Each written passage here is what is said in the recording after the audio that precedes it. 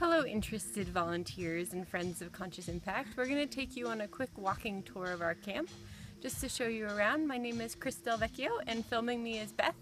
Hey and, guys! and we're going to go give you a little tour.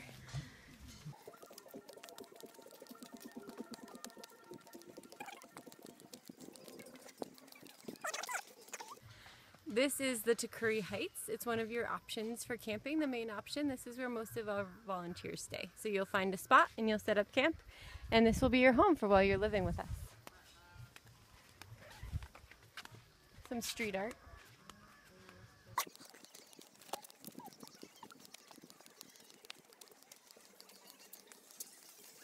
These are two of our composting latrines. The first one is an Eastern style squatter and the second is a western sit toilet.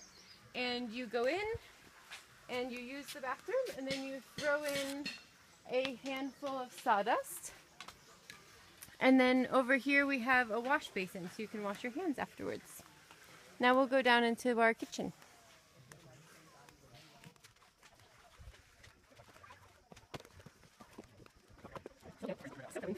Hey guys, this is our communal space. Hey, hey, everybody. Relaxing. this is where we eat our meals, collect in the evening for meetings, read our mini books. This is Nita cooking. Hi, this Nita. Is one of our Sawyer filters. This is how we drink clean water and one of the ways that we make sure that our volunteers stay healthy and hydrated while they're with us.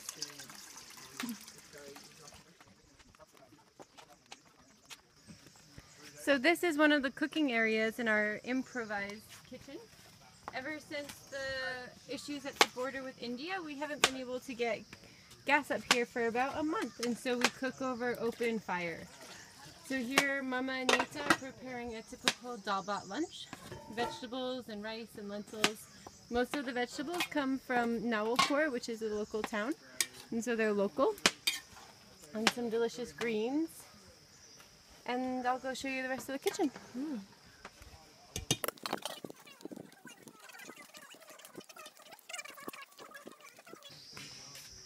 This is our kitchen. This is where we prepare our meals, store our food and our vegetables. You can see it's 100% in use right now as Mama and Nita are preparing lunch for us. Um, and volunteers cook breakfast and dinner. So if you're volunteering with us, you can definitely expect to spend some time here and have some experience cooking for a large group, but you always have someone with you that's helping you.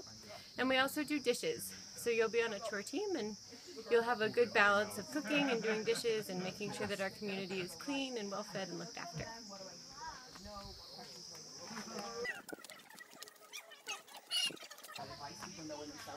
So now we're going downstairs. Our camp is over about five or six terraces, so you'll get a lot of experience walking up and down stairs during your day-to-day -day here. So it's important that you are ready and prepared for that. And our stairs are well maintained and they're very safe, but it definitely is a, a up and down terrain.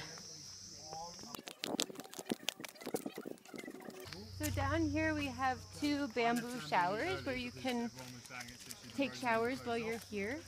They're delicious during the day. The water's coming from deep in the earth and so it's icy cold. And so it's delightful when you've been working and you're nice and hot. And you have a beautiful view of the forest when you're in the shower.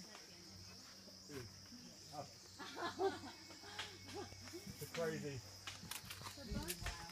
Local buses are cool. The bus there from, I took a tourist bus, so you said, um, and, and then it's worth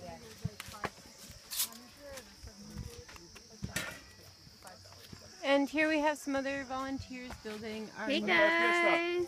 this will be the, the location of our next composting latrine. Look at these holes. Toilets are nice. Hey. Do you think, Sabrina? Namaste, internet. the whole internet. Hashtag we're here.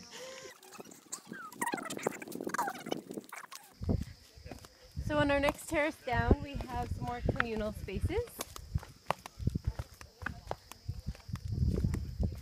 This is our yoga shala where we practice yoga together. And then at the far end, we have our beautiful teepee. And we just built that for our yoga retreat that was here. We had so much fun with our yogis in it. And we also had the village over for some tihar parties. And it's where we hang out in the evenings and light fires. And crawling on it currently. there's a cat on it. Um, but it's a great place. It's getting cold in the evenings. We all bundle up and have hats on and coats and heavy socks and we build a big fire in there and we sit around and play music and hang out and it's a great place to stay warm.